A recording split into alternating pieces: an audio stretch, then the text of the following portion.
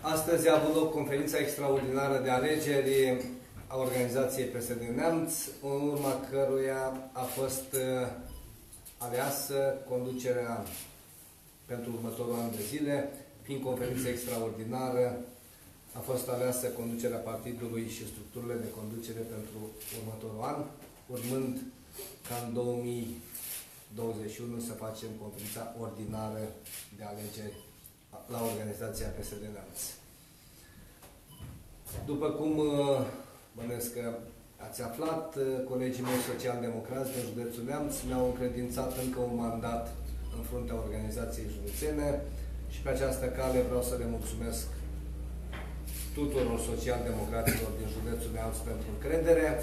Vreau să-i asigur că toate energiile, experiența mea și priceperea mi-o voi pune în slujba social-democraților din județul Neamț și împreună tot ce facem să punem în slujba nemțenilor.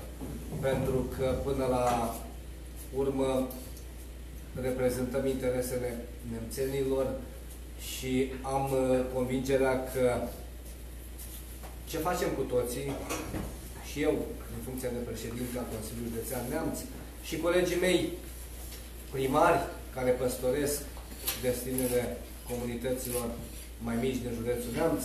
Și colegii mei parlamentari aici de față, este pus în slujba nemțenilor și sper să realizăm ceea ce am promis oamenilor, să arătăm că, că suntem oameni serioși, că suntem oameni de cuvânt, că ceea ce am promis acum patru ani de zile am reușit să facem și că ce vom promite în următoarea campanie va fi ceea ce vrem să implementăm în comunitățile din uh, județul Neamț. Ne-am ales de asemenea și structura de conducere a biroului permanent județean, comitetul executiv uh, uh, județean și Comisia de Integritate și Comisia Financiară și Economică. Vreau să felicit pe toți colegii mei aici de față, domnul deputat Alex Rotaru, doamna vicepreședinte a Organizației Municipale Roman, doamna Oana Bulai, domnul deputat Răzvan Cuc, domnul primar al orașului Târgu Neamț și președintele executiv al Organizației Județene, domnul Vasilică Harpa, doamna senator Emilia Arcan, președinta femeilor social-democrate din județul Neamț și, în ultimul, nu în ultimul rând, președintele Organizației Municipale PSD Roman, domnul senator Dan Manoliu. Suntem o echipă puternică, suntem o echipă care vom avea o abordare constructivă și total diferită în următoarele alegeri. Am discutat și în conferința județeană de alegeri că ceea ce se întâmplă astăzi în, în societatea românească vis-a-vis -vis de ura care s-a instalat în societate și în special între adversarii politici nu este normală, nu este corectă și eu cred că abordarea pe care trebuie să o avem noi socialdemocrații și pe care o vom avea și o să vedeți conduita organizației PSD Neamț la următoarele alegeri, va fi să tratăm fiecare formațiune politică din județul Neamț ca un adversar și nu ca un dușman. Pentru că trebuie să ieșim din paradigma asta a urei, când toată lumea urăște pe toată lumea, vedem mai nou. Oameni, indemnități și funcții publice trecătoare, că în loc să aibă alte preocupări pentru bunăstarea nemțenilor, în fiecare zi facem câte o plângere penală la DNA adversarilor politici. Asta nu e o conduită care să ne facă cinste nouă, oamenilor politici, și nu e o conduită care să aducă plus valoarea unui partid politic. Oamenii nu asta vor să vadă. Oamenii vor să vadă ce facem noi în funcțiile și demnitățile publice pe care le ocupăm. Dacă viața nemțenilor este îmbunătățită și aportul pe care îl aduce demnitatea publică pe care o ocupi este în beneficiu oamenilor sau nu. Că ne certăm noi între noi, că ne urâm, că ne facem plângeri penale unii la alții. Asta nu mai vor să vadă nemțenii. Și am convingerea că cine nu va trage învățăminte și nu va reuși să iasă din această paradigmă, va pierde. Așadar, arunc mănușa adversarilor politici, nu dușmanilor, adversarilor politici, pentru că asta suntem, adversari politici, să ne batem în proiecte pentru nemțeni, să venim în fața nemțenilor cu ce am făcut și ce vrem să facem pentru ei. Și să lăsăm la o parte abordarea asta de tip sovietic. Hai să băgăm oamenii la pușcărie cu orice preț. Dacă nu îi putem învinge în campaniile electorale, hai să le facem dosare penale. Le atrag atenția celor cu astfel de conduită că buzduganul întotdeauna se poate întoarce. Așadar, cred și sper într-o campanie electorală onestă și corectă, în care partidele politice să aibă o luptă bazată pe proiecte. Am convingerea că PSD Neamț va câștiga și alegerile locale și alegerile parlamentare în județul Neamț, pentru că noi vom vorbi oamenilor despre fapte, despre ceea ce am făcut. Nu povești, nu minciuni, nu lucruri închipuite. Sigur că le vom spune și ce vrem să facem. Dar o să încercăm să facem o analiză și să punem în fața electoratului din județul Neamț realitatea. Cine și ce a făcut pentru nemțeni. Și eu am convingerea că nemțenii știu să boteze. Nemțenii mei, și aici vorbesc în calitate de președinte al Consiliului Județean Neamț și de președinte al PSD Neamț, nemțenii mei vor ști să judece și să cântărească fiecare candidat în parte. Că vorbim de președinte la Consiliul Județean, că vorbim de primar la municipiul reședință de județ, că vorbim de primar la municipiul Roman, că vorbim de primar în orice localitate din județul Neamț. Că vorbim de consilier local și consilier județean. Cu toții trebuie să venim în fața nemțenilor la judecată. Așa este corect. Așa este cinstit să venim după un mandat de parlamentar, de ales local și să spunem oamenilor asta am promis și asta am făcut. De-aia v-am spus că cu onestitate și chiar sportiv arunc mănușa adversarilor politici, să avem o campanie cu o conduită frumoasă, corectă. O campanie ca atunci când se termină să putem să fim mândri, toți, și noi socialdemocrații, și liberalii, și alte formațiuni politice, că am reușit să ne ridicăm deasupra celor care au adus o stare de, de, de, de ură și de dihonie în societate și am făcut o campanie așa cum trebuie. Pentru că după alegeri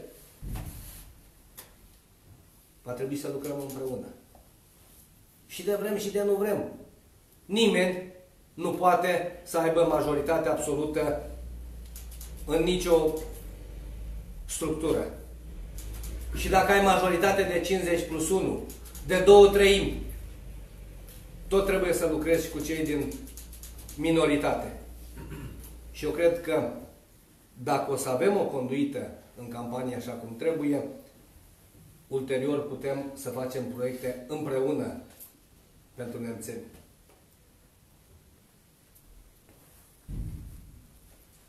Închei prin uh, a vă mulțumi dumneavoastră presei pentru modul obiectiv și subiectiv uneori în care ați tratat subiectele politice și administrative.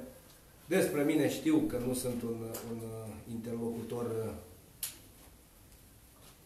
prea comod pentru presă. Greu să schimbă omul la 50 de ani.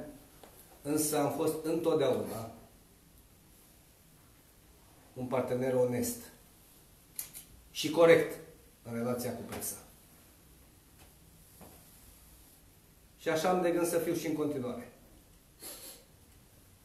Pentru că cred că noi, oamenii politici, nu putem face politică fără dumneavoastră, presa, cum nici dumneavoastră n-ați putea să faceți jurnalism fără oamenii politici.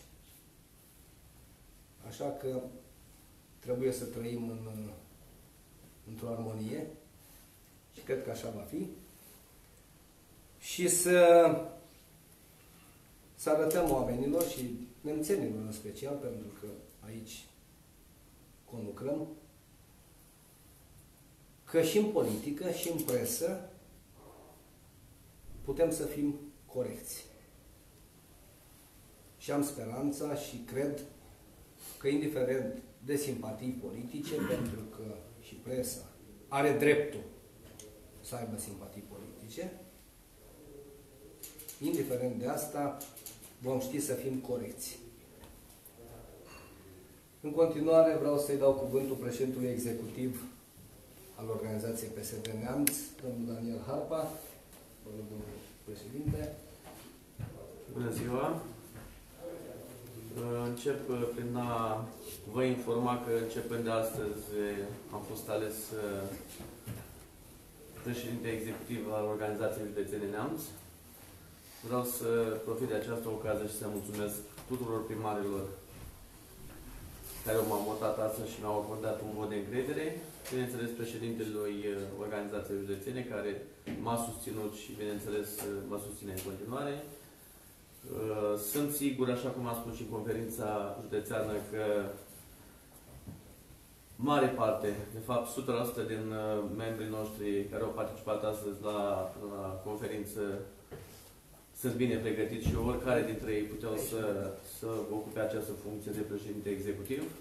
Este o onoare pentru mine și sper uh, că mă voi uh, plia pe politica care v-a explicat-o și domnul președinte, în special vis-a-vis -vis de uh, relația cu celelalte partide politice și, bineînțeles, să, să facem tot posibil să avem o campanie civilizată, să fie o competiție, iar la terminarea competiției să ne strângem mâna și să continuăm sau să gândim proiectele pentru județul Neamț, pentru fiecare localitate din județul Neamț și, bineînțeles, pentru orașul pe care îl conduc încă până la terminarea mandatului de primar.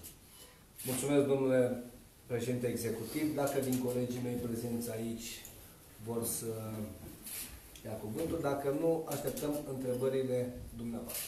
Nume de potențial candidați sau candidați cerți? Da. Uh, am uh, discutat astăzi în cadrul conferinței județene despre strategia pe care organizația județeană o va avea în perioada următoare vis-a-vis -vis de alegerea candidaților pentru funcțiile de primari la municipiul Piatra Neamț, Roman și în unele comune unde nu avem primari. În perioada următoare suntem deja pregătiți și vom, uh, vom da drumul la niște sondaje de opinie. Vom măsura niște colegi de-ai noștri care credem noi că pot avea o opțiune serioasă în a câștiga primăria municipiului Piatra Neamț și primăria municipiului Roman.